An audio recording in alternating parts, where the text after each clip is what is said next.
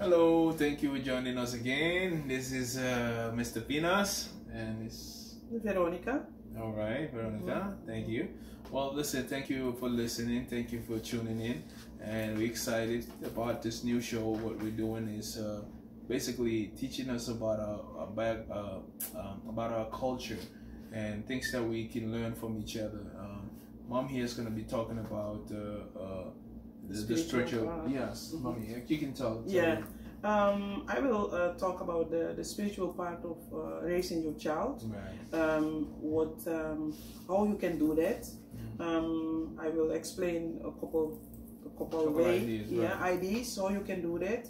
Um, before, before the, uh, the, the, the your, your child is born, Right. or sometimes before before the, the, the mother get pregnant, Right. the father Mhm. Or the mother or maybe the family one of the family are supposed to get a, um, uh, a message Right. uh, to get a message maybe in your dream or maybe um, something happened somewhere where you go or uh, people say it or um, you have different way you Oh, can get the message Receiving that message. receiving the message that somebody somebody uh, Is planning to be planning to be come back And to be back. to be back in that family Right. and um, uh, that is before before the pregnancy and uh, during the pregnancy also um, there are signals that you you can get Right. to know um, um, which is the who is the per- person that uh, that That's want to coming back Right. that will coming back you can you can get it more at the most or in your dream Right. in, in dreams.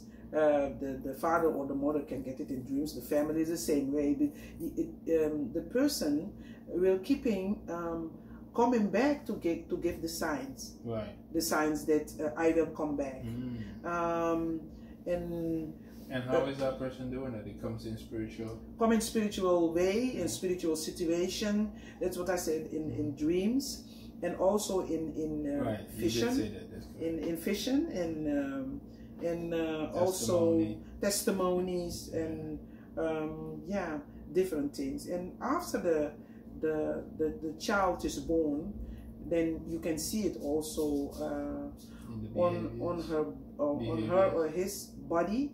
Maybe um, some marks But yeah. yeah uh, yeah because sometimes um, people um, people passed away um, or in a in a maybe in a in an accident Mhm.